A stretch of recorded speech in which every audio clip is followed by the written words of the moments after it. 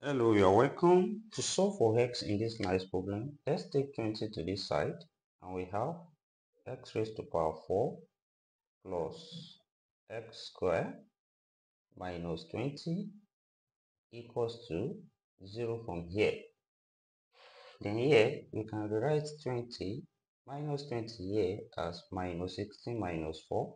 Then this becomes x raised to power 4 plus x squared minus 16 minus 4 now equals to 0 from here. Then here, let's group this minus 16 and x raised to power 4 together. And this gives us x raised to power 4, then minus 16.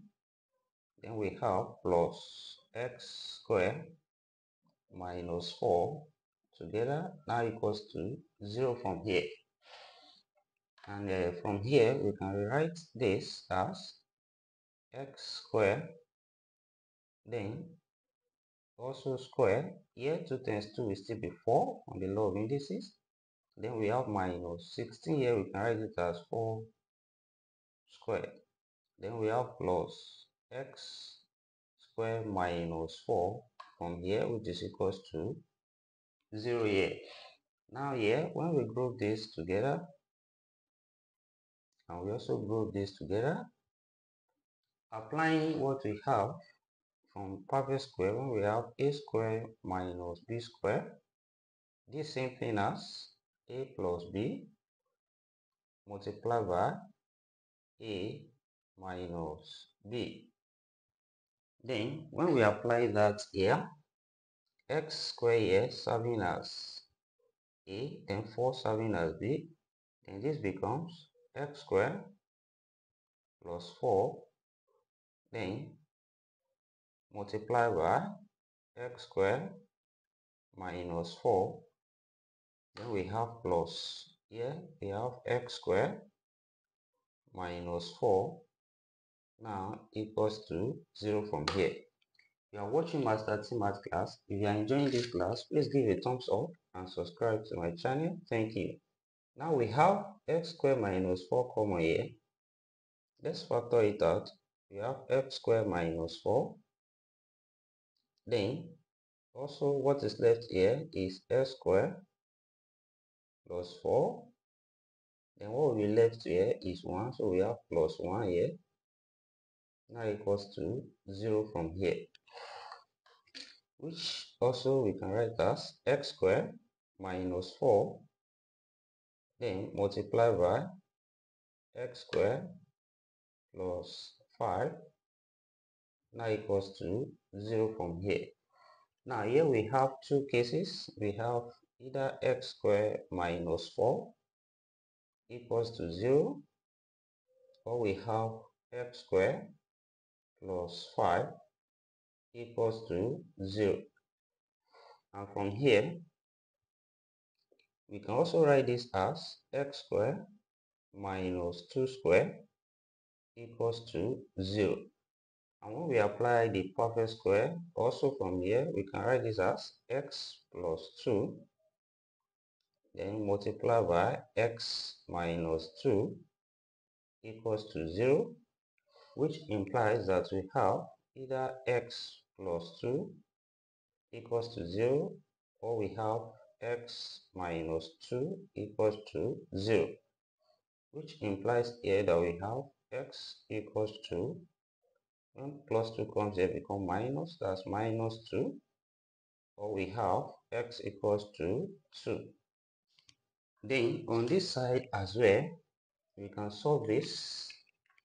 And when we take 5 to this side become minus. So we have x squared equals to minus 5 then we can take the square root on both sides. We have square root of x square equals to square root of minus 5. And here, square cancel square root, we have x left, which is equals to plus or minus. Here we can write it as root 5 times minus 1. And uh, which we can separate as x equals to plus or minus root 5 then times root 1 root minus 1 and root minus 1 here is i. So here we have x now equals to plus or minus root 5 i. So here we have four solutions from here. We have two resolutions. Here if this is x1 x2 then x3 is we have root 5i then x4 we have minus root 5i then from what we have we can check to see if this solution satisfy the given problem.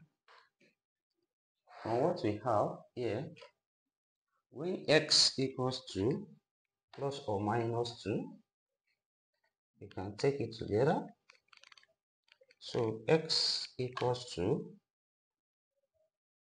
plus or minus 2 let's see if this will satisfy.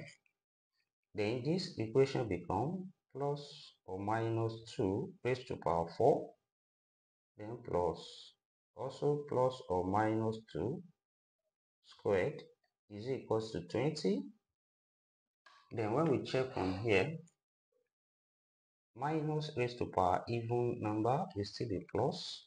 So here same thing as 2 raised to power 4 then plus. Also this is raised to power even number so minus will still be plus. So we have 2 raised to power 2 is equals to 20 then here 2 raised to power 4 to multiply say 4 times that's 16 then plus 2 squared that's 4 is equals to 20 then 16 plus 4 that's 20 which is equals to 20 and also when we check for x equals to plus or minus root 5i then the equation we have will become x raised to power 4 that's plus or minus root 5i raised to power 4 then plus x squared that's plus or minus root 5i squared.